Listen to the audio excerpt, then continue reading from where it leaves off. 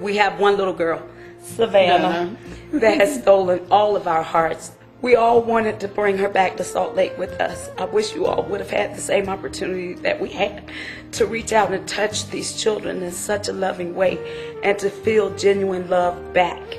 This was one of the most amazing experiences of my life. I gave you gifts because I really think you guys are really special to me, and I really think that. So I got you guys a gift so you can remember me. Dear people from Salt Lake City, thank you for school supplies that you gave me and my daughter. You actually saved my life. Also, thank you for the food. May you guys have a safe trip home and God bless you all. One thing nice meeting you all. You guys such a nice people. Signed myself and daughter, Christina and Deidre.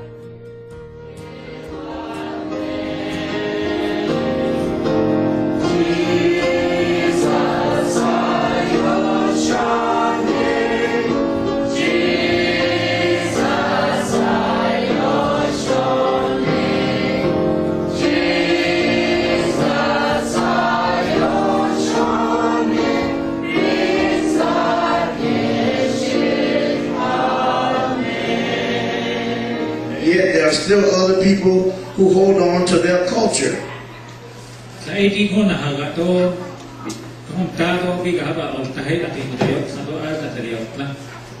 Some people hold on to the religion of their mother and their father.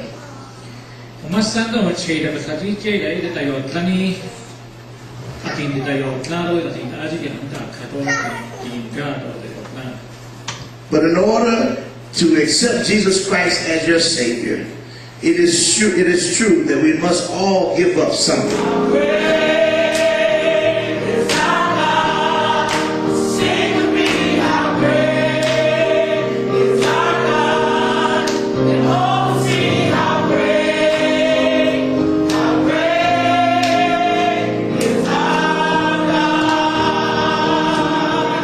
I enjoyed the whole the whole week.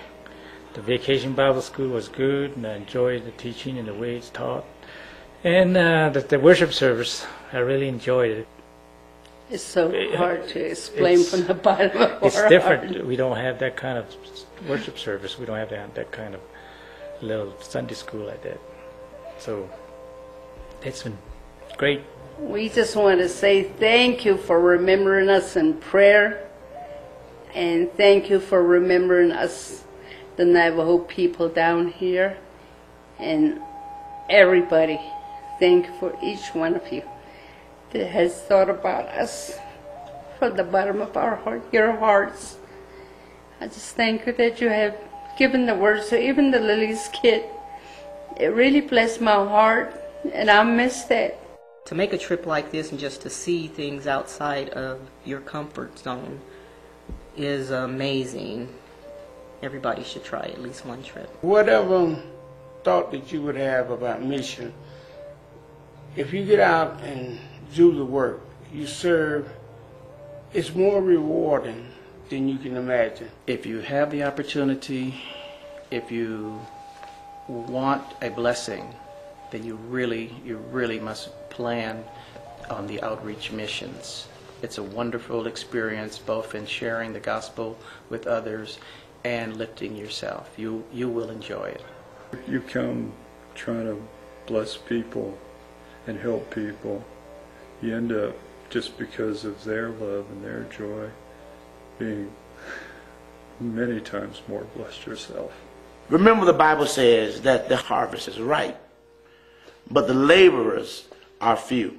And um, I've trusted this recap of uh, how God has blessed us and used us to bless others. Um, will pierce your heart and will, will, will, move you to action uh, to say, I'm going to go on the next mission.